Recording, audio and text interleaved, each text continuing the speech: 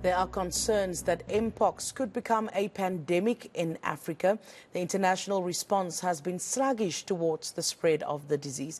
Africa needs 10 million vaccines to halt the spread, yet access remains scarce and there's currently no Mpox vaccine available in South Africa.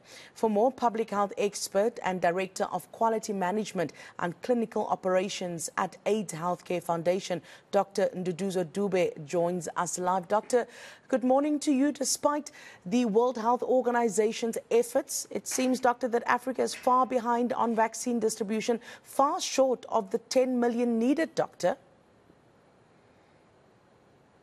Uh, thank you, thank you, Jenna, for having me in this platform. Um, it's quite um, distressing to to actually um, face this, uh, to realize that we are not learning from our mistakes um, from COVID-19, we have not learned our mistakes in terms of vaccine equity. We still only have 3% um, of the vaccines that are available for, for, for Africa right now, yet we know that the epicenter of the uh, epidemic is right in Africa and it's affecting 14 countries already, and South Africa is one of them.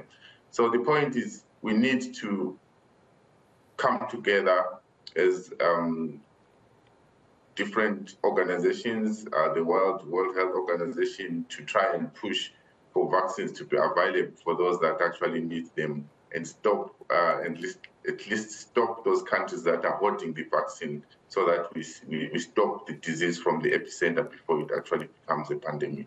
Uh, doctor, let's also look at how the global response uh, to the Mpox outbreak is comparing to COVID-19, particular in respect to vaccine distribution. You now mentioned that we are not seeming to learn from our past.